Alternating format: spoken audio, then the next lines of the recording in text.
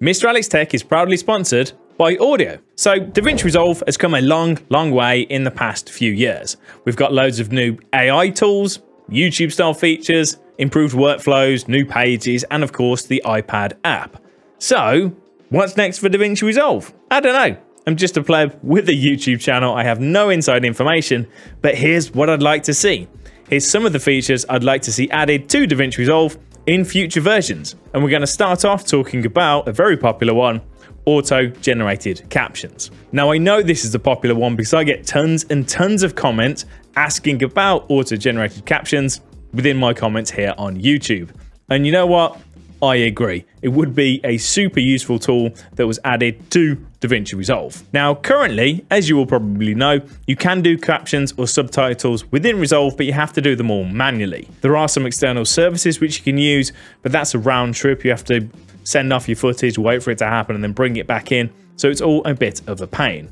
Having it done natively within DaVinci Resolve would be huge. It's also a feature which is becoming increasingly more common kind of everywhere else. Premiere Pro can already do it, so can Filmora and CapCut. You can even currently do it natively within the TikTok and Instagram apps. It's also something which has loads of use cases. It's really useful not just for online content creators like us. So imagine you've got a 90 minute documentary, it's all edited, it's on your timeline. If DaVinci Resolve has transcribed that in the background, you've then got a searchable, time-stamped script.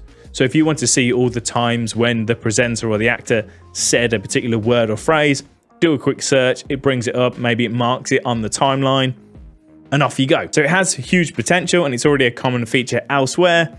Definitely something I'd love to see within DaVinci Resolve. Anyway, on to the next one. Voice Isolation 2.0. Now, I know voice isolation already exists within DaVinci Resolve. I have made a few videos on it in the past, but whenever I do, there's always a ton of comments saying they wish there was an invert option. And you know what? I agree with that as well. So for those that don't know, voice isolation will pick up on a person's voice and then remove all of the background sounds. So you've got the voice isolated, hence the name, allowing you for nice, clean audio, get rid of all the other stuff.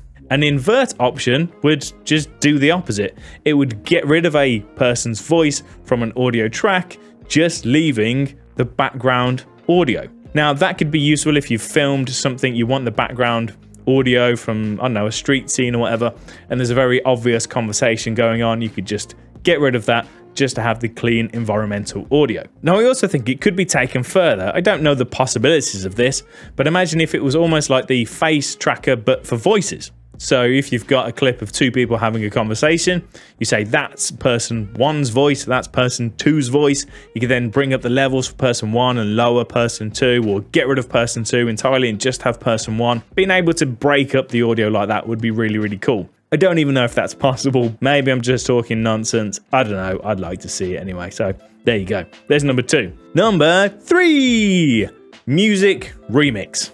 I can't deny it, this is a killer feature of Premiere Pro. If you're not familiar with Premiere Pro's remix tool, what it does is if you have a song that's two minutes long, but you need it to be three minutes long, you can remix it, which just gives you the same song, but it's now three minutes long. And of course, it works the other way. If your music's too long, you can shorten it and it'll just cut bits out to make the song the right length. Simple. Now, this is something you can do manually, and I often do in my videos, but it is kind of time consuming. You do have to mess around, find the right point, and yeah, tweak it, blah, blah, blah, blah, blah. It's a bit of a faff. So, having it done automatically within DaVinci Resolve would be really, really cool. Now, sticking with music, if you need music, I highly recommend checking out this video sponsor, Audiio. Because with Audiio, you can get your first year of all of their music and sound effects for just $59 when you use the code ALEX70. And that license is on their website, it's always accessible and it's super easy to download. Plus, the license covers you for basically anything YouTube, commercial work, podcasts, videos, and even video games. And, probably most importantly, their music selection is awesome. They've got everything from lo fi beats, rock, hip hop to classical and cinematic belters. many of which are used by big global brands like Nike, Netflix, and ESPN. This year, they're adding a whole bunch more music and sound effects, and will be releasing a mobile app very soon as well. So, why not check them out for yourself? There's a link down in the description below. Right, sticking with another audio themed feature, automatic beat detection. So throwing a song, it automatically finds the beat of the song, marks it on the timeline, and then it makes it much easier to cut your video to the beat of the song. That's the feature. That's what I'd love to see within DaVinci Resolve. Now it's kind of interesting because that almost already exists, kind of. The basic version of that functionality actually does already exist within DaVinci Resolve. The whole thing just needs to be automated because it's all kind of manual at the moment. Let me show you really quick. So here we are on the Fairlight page. Now there's this little icon here. It's called transient detection. We'll toggle that on. And then over on the left, we get the same thing underneath that actual audio track. We'll toggle that on. And then it's going to do these little lines on our waveform.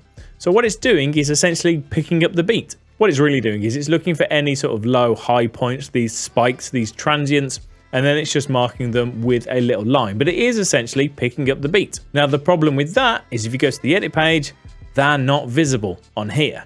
So what you actually then need to do is to go through adding markers. Now you do have a little bit of help because you've got these little lines for them then to appear on the edit page. A few versions back, they also added something called the grid view into Fairlight. I've linked down below to a video by Dunna Did It, who explains how that works, but again, it has similar drawbacks. So as you can see, the functionality is kind of there, just not in the way that I personally would love to see it. I'd love to be able to drop a track on the timeline, on the edit page, hit a button, it adds markers on the beat, and then off you go. That does already exist within some other editing suites as well, so it's just another one I'd love to see within DaVinci Resolve. Next up, we're going to move away from audio now, improved keyframes slash splines on the edit page. We all know that using keyframes on the edit page is simple to get started, but awkward to make fine adjustments. It's all small and fiddly and meh, it's just a bit meh, needs a little bit of updating. The spline editor within Fusion, much, much nicer, much more flexible. Yeah, it's kind of more complicated, but it's much easier to get the job done using the spline editor than it is to do the keyframes on the edit page. Even just a cut down version of that full spline editor would be perfect. Imagine if you could even pop it out onto an external window. That'd be lovely, because as it is, doing it on the timeline, it's all just a bit confined. Now sticking with an almost identical theme, speed ramps. On the edit page, it's all really confined, it's tricky to do, so again, maybe having a nicer interface or a pop-out window to be able to do it, just giving you more room and more flexibility would be a winner. Next up, edit page slash cut page merger. Love it or hate it, the cut page has some really nice features. You've got the super easy timeline resolution swapping, the sync bin, smart inserts, the dual timeline view, and then my personal favorite, the source tape. I love me some source tape. It's just really, really useful. Now, some people, doesn't matter what you do, what you say, they're just not going to switch to the cut page. End of. So why not bring some of those cool cut page features over to the edit page? So then everyone's happy. So some of them I guess they wouldn't do, maybe like the smart insert, but I don't see any reason why the source tape couldn't exist on the edit page. Maybe there is something I'm missing, but I'd love to have access to the source tape on the edit page as well. My only guess is maybe Blackmagic are concerned about making the cut page feel kind of redundant, but in my view, the cut page still has a point more so than ever now, thanks to the iPad. People are always going to learn the cut page from the iPad point of view, so the cut page still has a point. Some people love it. You've obviously got the speed editor, it's a different place for different jobs, but I'd love to see some of those really useful features from the cut page brought over to the edit page. I also think they will continue to update the cut page at a much faster rate now thanks to the iPad version because the cut page needs to work as a standalone for full edits. You need to be able to basically do everything on the cut page, which currently you can't. Now, they have very recently released quite a major update for the cut page well, I think it's major. It kind of slipped under the radar, but you can now do track level audio on the cut page on the iPad version. So you can apply audio effects to the entire track. You can do leveling, you can do all sorts, rather than having to manually set the levels of every single clip on the timeline, which is a right pain. So now for me, that's a massive thing. I'm actually comfortable doing a full vlog on the iPad, which before I wasn't because it took ages just trying to get all of the audio leveled and whatever else. So there you go. It's now several hours later, totally forgot to record an outro, so here it is. Thanks for watching. If you agree with me, let me know. If you disagree, let me know that as well. I'd love to know your thoughts down in the comment section below. Thanks again to Audiio for sponsoring this video and the channel overall. Make sure to check them out. Thanks for watching. I'll catch you next time. See ya.